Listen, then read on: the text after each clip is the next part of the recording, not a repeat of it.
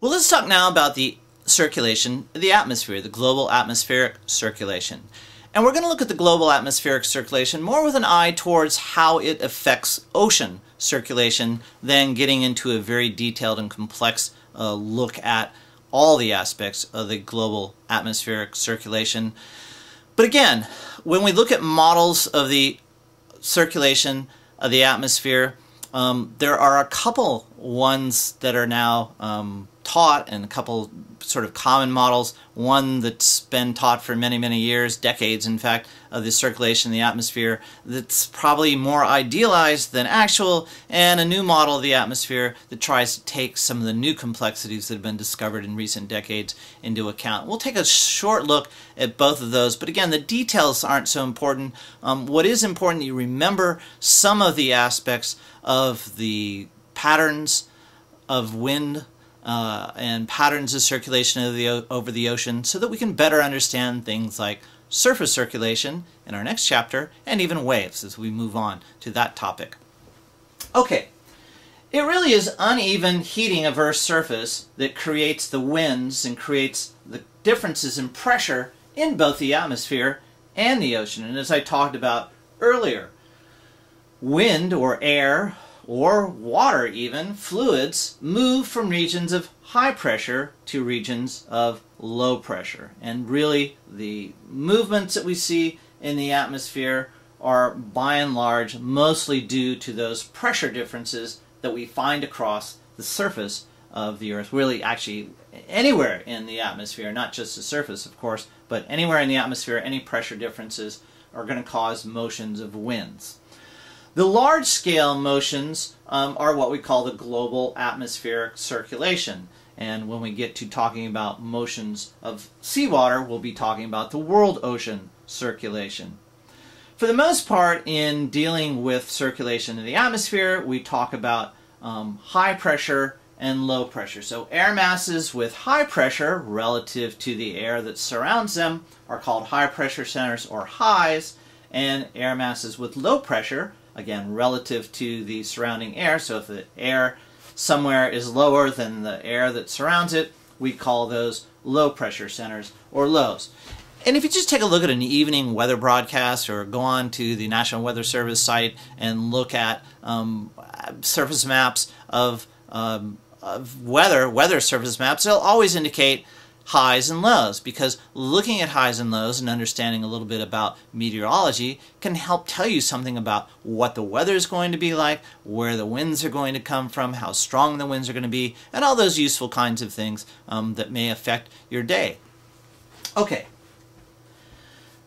This is just an illustration of what I just talked about in terms of motions of fluids. With greater pressure, the motion is going to go in this direction towards the lower pressure. And we can symbolize this with just, in the case of water, this could be air as well. So where we have higher pressure, the, mo the motion of the fluid is going to be away from the higher pressure and towards the lower pressure.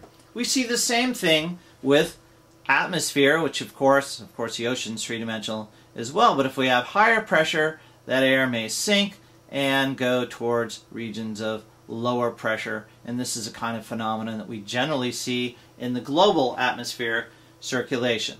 Okay, so just keeping in mind high to low. All right, just before we get too far with this, I want to familiarize you with what I find to be a confusing convention, but it's the way it is and we have to live with it. I'm just the messenger. Winds are named according to the direction they come from, just like wicked witches. So where was the wicked witch of the west from? She was from the west. A north wind, then, is a wind from the north, as an east wind is from the east, south wind from the south, and so on. That's not too difficult, right? Currents, on the other hand, are named according to the direction they go to. So a southerly current, or a south current, is moving towards the south that means that it's coming from the north. Okay, now that can get confusing to some people. So just keep that in mind. Winds are like wicked witches. They're named according to the direction they come from. Currents are named according to the direction they go to. Just a convention to be familiar with, confusing nonetheless. Now let's talk about what happens as air or water moves from a region of high pressure towards a region of low pressure. Of course, when we have an object moving across the surface of the Earth, the Coriolis effect comes into play. All right, we have to take into account the Coriolis effect.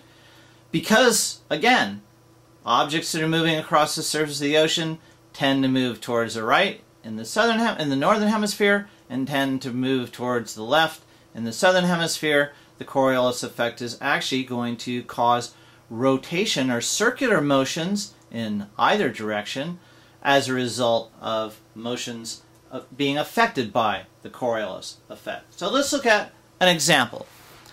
In the northern hemisphere, as air is moving towards a low pressure, that air is going to tend off towards the right. As it deflects to the right, it's going to result in a kind of counterclockwise flow that we call a cyclonic flow.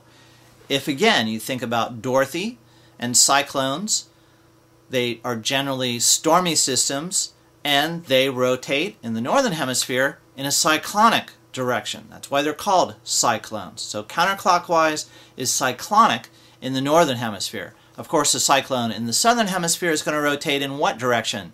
Yes, that's right, the opposite direction. So we're going to have a clockwise rotation of a cyclone in the southern hemisphere. That's why scientists call them cyclones because they don't want to keep track of counterclockwise and clockwise because they're the same phenomenon, a hurricane or a tornado.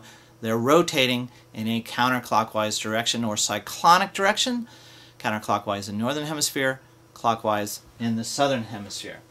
If they move in the opposite direction, so if we have something as a high pressure system, the flow of air around a high pressure system in the northern hemisphere is going to be clockwise. We call that anticyclonic.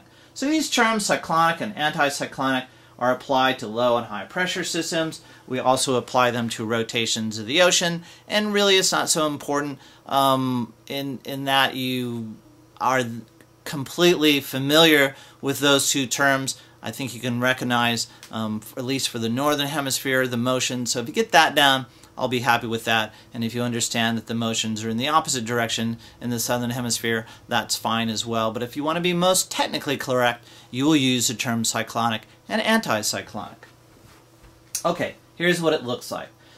This is figure 816 in the text. So as air moves towards a low pressure, you can see that it begins to deflect towards the right. And ultimately, that motion then is going to be in a counterclockwise direction or a cyclonic direction in the northern hemisphere. On the other hand, a high pressure system, as air is moving away from the high pressure center, here you can see it deflects towards the right, deflects towards the right, begins to move towards the right. So this is a clockwise or anticyclonic direction. It also, importantly, Low pressure systems tend to draw air upwards as a result if we look at them from the side. So low pressure systems tend to be associated with rising air whereas high pressure systems are tend to be associated with sinking air. And if you're a southern hemisphere viewer, we have exactly the opposite kind of thing in the southern hemisphere because the Coriolis effect is to the left. So here we have high air, air moving away from a high, moving towards the left, and we have actually counterclockwise, but we still call it anticyclonic because it is anticyclonic. It's just a different atmosphere, okay? This is still a cyclone, it's still a low pressure center, but in the southern hemisphere, the flow is clockwise instead of counterclockwise like it is in the northern hemisphere. All of this is due to the Coriolis effect and about now you should be repeating the mantra, Northern Hemisphere right, Southern Hemisphere left. Got that?